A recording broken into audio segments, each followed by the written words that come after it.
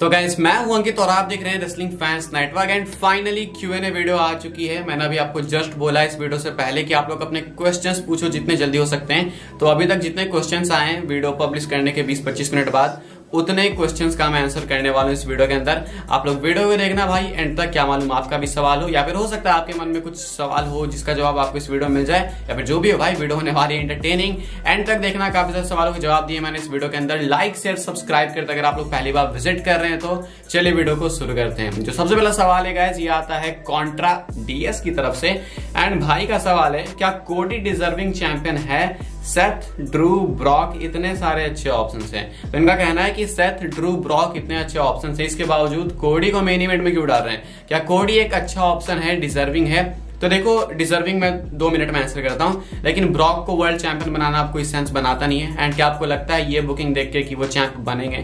कहीं से नहीं। सेथ और ड्रू में भी हो सकते हैं। सेथ रॉलिंस ज़्यादा डिजर्व करते हैं। ये मैं ओपन कह सकता हूँ। कोडी रोड से ज़्यादा सेथ रॉलिंस डिजर्व करते हैं। कोडी से ज़्यादा क्यों करते हैं? क्योंकि कोडी ने अभी भाई भले ही इतने सारी विक्ट्रीज अर्न की हो, लेकिन क्या कोडी ने इतने मैचेस लड़े हैं कि वो डायरेक्ट वर्ल्ड टाइटल पिक्चर में आ जाए? मेरे हिसाब से नहीं, लेकिन हाँ डब्ल्यू डब्ल्यू के बिज़नेस स्ट्रेटेजी के हिसाब से अगर आप समझो तो देन डिजर्विंग है। अगर कोई भी चीज़ प्रॉफिटेबल है तो डिजर्विंग है। बस बिज़नेस की यही स्ट्रेटेजी होती है। सो डब्ल्यू डब्ल्यू के परसेप्शन के परस्पेक्टिव से हिसाब से फॉर श्योर डिजर्विंग तो कोडी है अपने हिसाब से बोले तो मेरे हिसाब से सेथ रॉलिंस थोड़े ज़्यादा डिजर्विंग है। आगे बढ़ते हैं, जो अपना अगला सवाल है, ये है भाई हॉपनर एक्सपर्ट की तरफ़ से एक्सपोर्ट की तरफ़ से एंड भाई कहते हैं why triple H is not is not making Raw and SmackDown as good as expected better तो इनका कहना है कि हमने जो एक्सपेक्ट करा था ट्रिपल एच से, कि भाई रॉ स्मैकडाउन बहुत बेटर हो जाएगी, चार चाँद लग जाएँगे।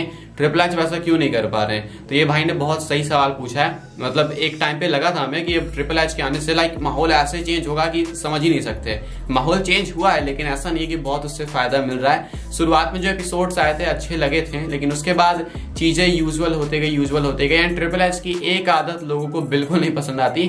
जिस तरीके से ट्रिपल एच रैंडमली शो को शुरू कर देते हैं, उसके बाद रैंडमली एंड कर देते हैं। मतलब सोचते नहीं है कि ये सेगमेंट सुटेबल है या फिर नहीं एंड के लिए। कोई सा भी सेगमेंट उठा के बस डाल दो। तो ये चीज़ बहुत एक बुरी चीज़ लगती है मुझे ट्रिपल एच के अंदर। एंड मेरे हिसाब से ये ना हो तो ज़्यादा बेटर हो। लेकिन हाँ ये तो बात सही है कि ट्रिपल एच वो बेटर नहीं कर पा रहे अब इसके पीछे का रीजन शायद उनके एनएक्सटी का माइंडसेट है। एनएक्सटी को जिस तरीके से वो बुक करते थे, उसी माइंडसेट के हिसाब से ट्रिपल एच शायद मेन रोस्टर पे भी चल रहे हैं। इसलिए कुछ खास ऐसे भयंकर होते हुए नहीं देखने को मिला बुकिंग के अंदर। तो मेरे हिसाब से तो ये रीजन है। मेरे से सवाल पूछा गया तो मेरे रीजन ये है। अब ये सवाल सेम मैं आपसे पूछ रहा हूँ। आपके रीजन क्या है? आप लोग कॉमेंट करके बता सकते हैं। जो गैस अपना अगला सवाल है, वो है सरोज अधिकारी का, एंड भाई कहते हैं Who do you think the opponent of Roman after winning WrestleMania main event in the WrestleMania Backlash? इनका कहना है कि रोमन WrestleMania जीत जाते हैं तुम सपोज़ कर लो। इसके बाद WrestleMania Backlash में रोमन किसको फेस करेंगे? तो बहुत अच्छा सवाल है भाई का। यहाँ पे ओपन प्रेडिक्शन ही कर सकते हैं हम लोग क्योंकि अपडेट नहीं है तो मैं प्रेडिक्शन बता दे रहा हूँ अपनी। मेरे हिसाब से अगर रोमन कम्पीट करते हैं तो अगर नहीं करेंगे तो, अलग ही बात है। लेकिन इन केस रोमन कम्पीट कर रहे हैं टाइटल रिटेन करने के बाद बैकलैश में ये रेसलमीनिया बैकलैश नहीं होगा सिर्फ़ बैकलैश होगा। यहाँ पे अगर रोमन कम्पीट करते हैं तो रोमन रेंज शायद एक टैग टीम मैच में आ जाए Roman and Usos versus Sami and Kevin Owens and Cody Rhodes ये मेरी प्रेडिक्शन है जस्ट इसके को, इसका कोई सर पैर नहीं है, बस ये मेरी प्रेडिक्शन है डिमांड समझ लो, ये कुछ है। भाई, अगला सवाल है किंग हील का, भाई कहते हैं will Jey Uso cost Roman Reigns at Mania बहुत अच्छा क्वेश्चन है, बहुत अच्छा सवाल है। मे बी हो सकता मतलब इसको मैं ऐसा नहीं कर सकता कि नहीं भाई, ये तो नहीं होगा, क्योंकि ब्लड लाइन की स्टोरी अभी पीक पे जानी बाकी है। क्योंकि अभी रोमन ढंग से जब भिड़ेंगे जे जिमी से, वो चीज़ होनी बाकी है। सो मे बी उस चीज़ के लिए डब्ल्यू डब्ल्यू ये कर सकती है। एक अदर प्लान भी आ रहे निकल के सामने कि क्या मालूम रेसलमीनिया फोर्टी में रॉक रोमन होना हो तो रॉक रेसलमीनिया थर्टी नाइन के एंड में आ जाए। तो ये भी स्पेक्यूलेशन है, लेकिन कुछ खासा कह नहीं सकते। बट हाँ ये इग्नोर भी नहीं कर सकते। मे बी जे उसो कुछ कर सकते हैं कांट लाइक लक्षण तो सही नहीं लग रहा है भाई इनका भी इसके बाद अगला जो सवाल है, वो है सुखबीर रनवा का एंड भाई कहते हैं, भाई एफ़ एन प्लेस चैनल का क्या हुआ? एफ़ एन प्लेस जिनको नहीं मालूम, मेरा गेमिंग चैनल था।